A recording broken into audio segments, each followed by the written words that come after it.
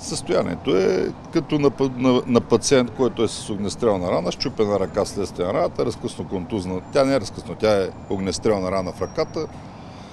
Преминала по гръдния кош. Направена оценка на състоянието на жената в шокова зала.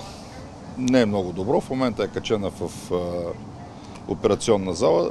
Два екипа. Екип долен крайен крака оперират ръката.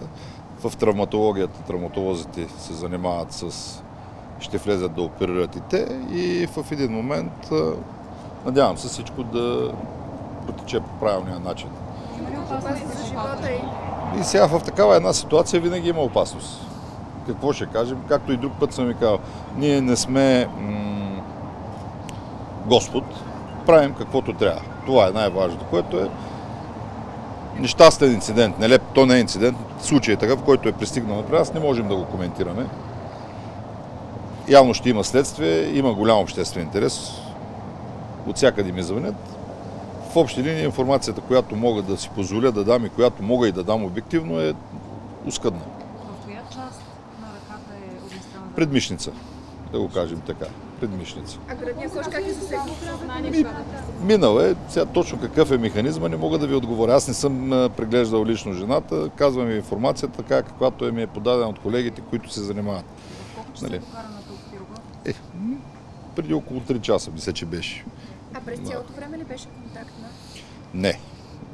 В началото е била контактна, след това вече е били, в, в, въведена в медикаментозна кома, интубирана е сега в момента под опойка, така че нали, какво ще бъде, предстои да видим. Две операции предстоят, така ли? За сега да. Две. Да, това е. Колко време прогнозирате, че ще остане в лечебното заведение? Мили хора, не мога да отговоря на този въпрос. Сега, повода по който се виждаме е крайно неприятен, но това, се, това е информацията, която мога да дам.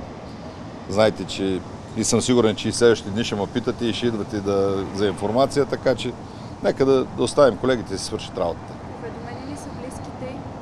Всички са уведомени по а, инстанция, за близките конкретно не мога да знам, защото все още се води неизвестна. Тоест, Аз все още не е установена самоличността и не мога да отговоря на този въпрос, защото за да уведомим близките, трябва да установим самоличността. А, уведомени са всички органи на реда, компетентните, които са прокуратура, следствие. Така че всичко е така.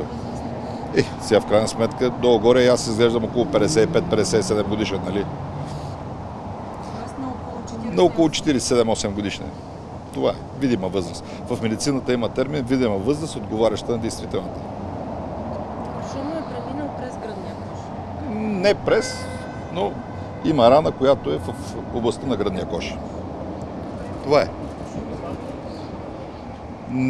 Като приключим ще ви кажем. Да. Има ли информация утре за състоянието? Еми, стига да мога да ви кажа нещо ново. Знаете, никога не сме отказвали информация. Това е. На работа съм, тук съм, така че няма проблем.